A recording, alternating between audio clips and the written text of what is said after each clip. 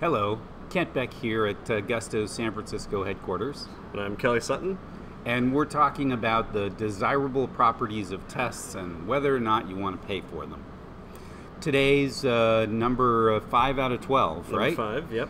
Uh, and we're going to talk about the speed of tests. So there are lots of ways of writing tests. Some of them are much slower than others. Yep. Some of them are faster. Yep.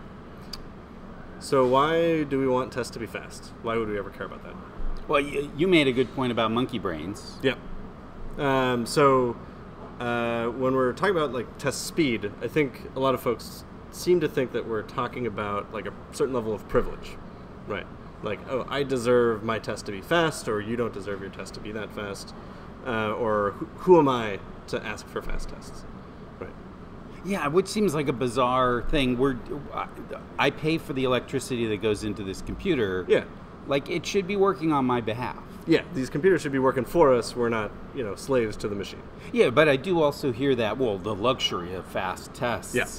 Yeah. Well, what if it wasn't a luxury? Yeah. Because it seems like there are there's some breaking points. Like if if uh, if tests run in under a second, Mm. you just run them all the time. Exactly, exactly. And I think like that second is like really important because that's where I think our lizard brain or our monkey brain flips on or off, right? So Okay. something less than a second is a much different. Our brain treats it much differently than uh, something that takes more than a second or ten seconds or a minute.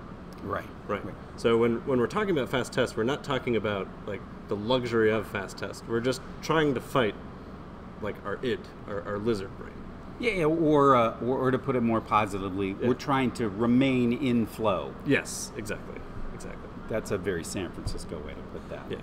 I, Okay. I, I dig it. oh, oh, so good, so good. So you, you came up with a, Yeah. a quick uh, illustration of this uh, one second versus ten Yeah. second. Yeah. Like what is what is fast? right? So these are the tests from the the previous videos. Yep, our little hourly wage calculator here. Got it. We've got a little test suite. Uh, hasn't changed from last week. Let's see how fast they run. Okay.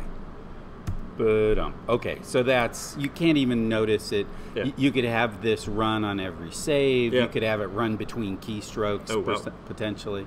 So okay, so slow it down to ten seconds, and Okay. we'll see. You know, the the luxury of uh, fast tests. Right. Okay. All right, So, so- let's uh, let's run these again. Okay. Just added a sleep statement. Okay.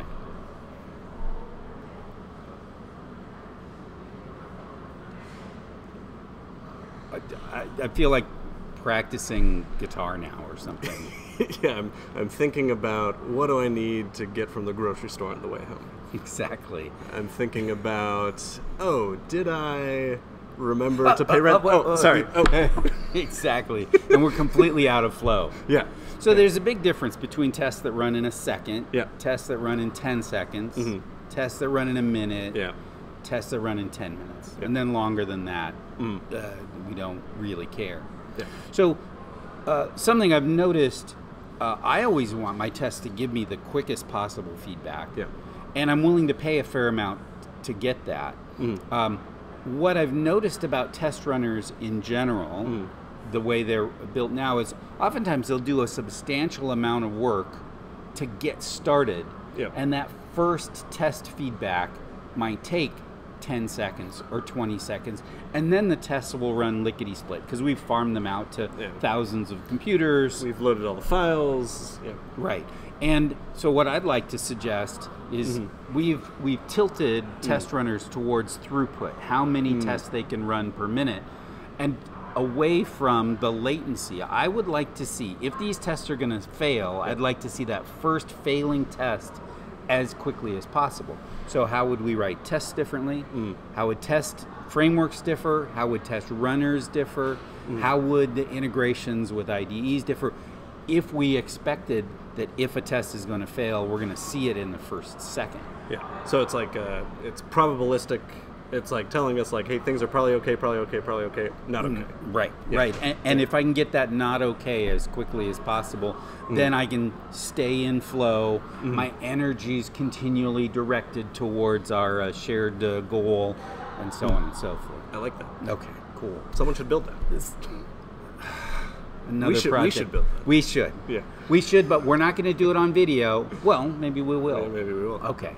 Uh, and uh, that's the end of tests should run quickly.